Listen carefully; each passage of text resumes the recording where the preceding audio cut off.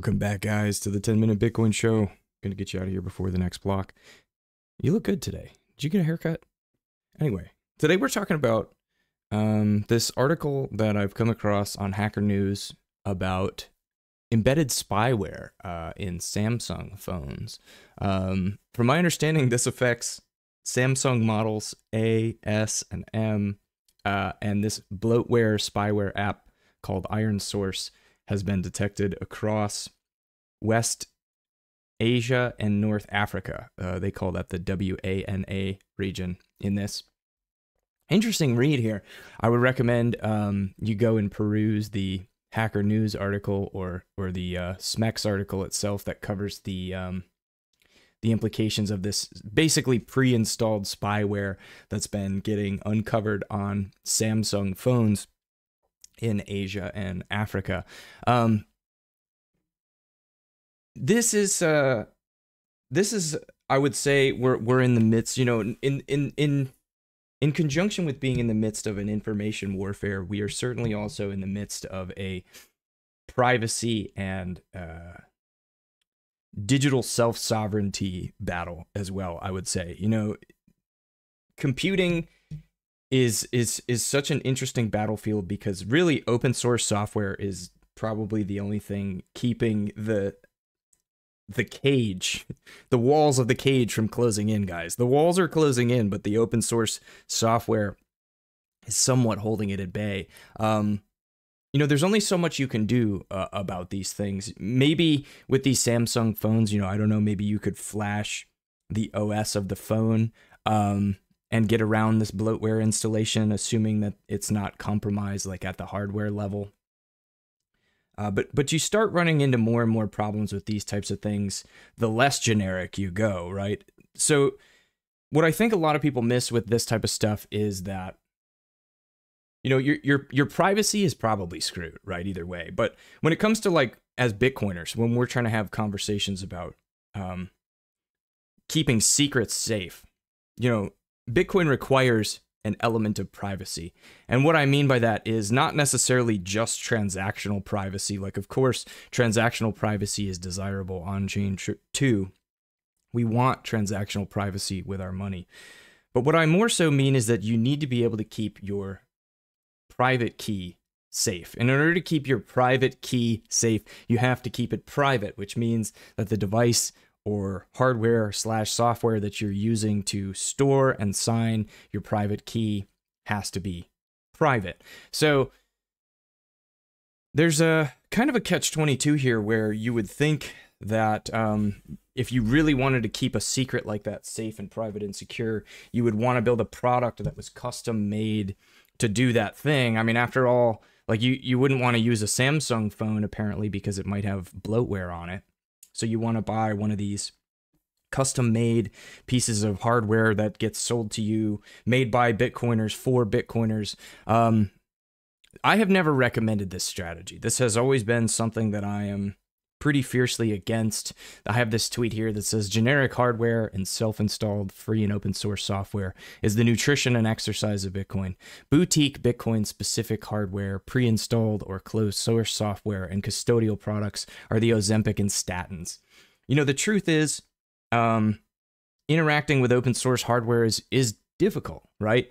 A lot of times it doesn't have the best user experience. Sometimes it does if it's really good. Um, even Bitcoin itself, just using Bitcoin, the Bitcoin software as it's written, you know, there's a lot of people out there that probably call themselves Bitcoiners that have never used like Bitcoin CLI. They've never run Bitcoin Core. They don't understand how this stuff works. And you know, not everybody can be a coder. Um, not everybody has the the bandwidth or the time or the resources to learn how to be a developer. Uh, but but the truth is, guys, is that there really is no shortcut to something like as important as keeping a private key safe and private when it holds maybe a significant majority of your of your wealth. Um, you're talking about a, you're talking about a game where you don't want to play around. You don't want the Ozempic and statins, guys. You want to go for the nutrition and exercise because the Ozempic and statins is going to kill you.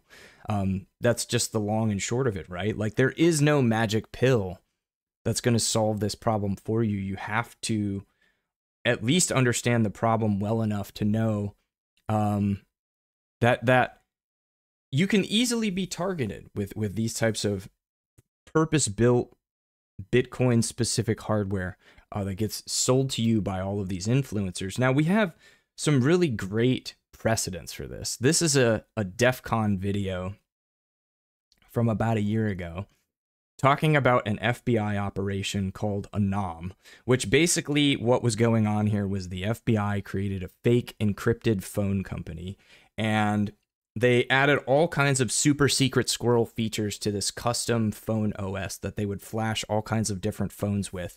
And then they built this influencer network that would sell these special super secret squirrel encrypted privacy phones to drug dealers. They marketed these things as like top of the line. They had all of these nifty little features like decoy pins that you could put in that would like brick the phone and like um fake profiles that you could log into and then they would like hide certain features of the app behind a calculator. And like people loved this stuff. They bought it up because it it it felt like and it looked like um, the product tailored for people who wanted to get away with uh, illicit activity. And look i'm i'm a bitcoiner. I'm not really into illicit activity per se. I'm I'm just trying to fix the money. I'm just trying to use sound money and, and keep it secure, my self-custodied private keys. But you know, you look at the way that the FBI built up this intelligence network. I, I highly recommend that you go and watch this DEF CON video if you have the time. It's about 40 minutes long, but it's a super insightful look into how they basically created the product that these people wanted. Uh, and they were logging literally everything that people did with these devices. Like they sold it as the magic pill for people who desired um, encryption and privacy in their communications and and whatever it was that they were doing with their phone. And they they built up an influencer network to to push these products on their target audience. And they were logging like the entire thing was a lie. The entire privacy encryption facade was just a front end that they were showing their end users to make them think that the devices that they had purchased, the devices that they were using to communicate on, were highly secure, um, anonymous, encrypted, and private. But the truth was that this was a narrative that got created by the FBI as an intelligence honeypot operation. And and I think the key thing here is that they pushed these products so heavily on their their target audience that they wanted to collect this data on. I think it would be ridiculous for us to assume that this kind of thing couldn't happen in Bitcoin. Um, I think it would be ridiculous for us to assume that if you buy that wallet backend that comes in the neat little case that somebody mails to your house that has all of these software tools pre-installed on it that are supposed to make your Bitcoin safer, more private, more secure, whatever. Um, you should be really skeptical of that promise, right? Because I'm not trying to sell you anything here. I don't have any referral links for you. Um, I'm just a fan of open source software. And and the truth is anybody that knows anything about security will tell you if you want to reduce attack surface when it comes to trying to keep a secret safe, like a private key, you're going to want to go as generic as possible with the hardware.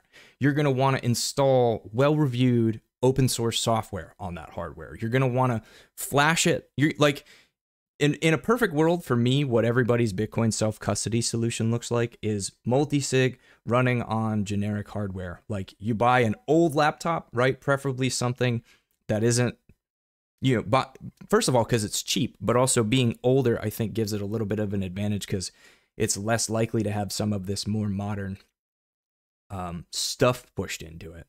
Could still have vulnerabilities, right? We can't know everything for sure, but the more generic you go, the less likely you are to be the target of this kind of like a specific attack um, that's designed to target people of a particular demographic or of a particular audience.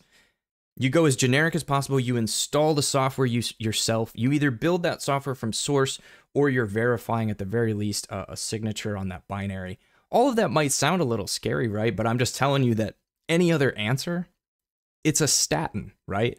You're, you're not going to hide from the fact that true health requires diet and exercise. Watch the video. It's a good one.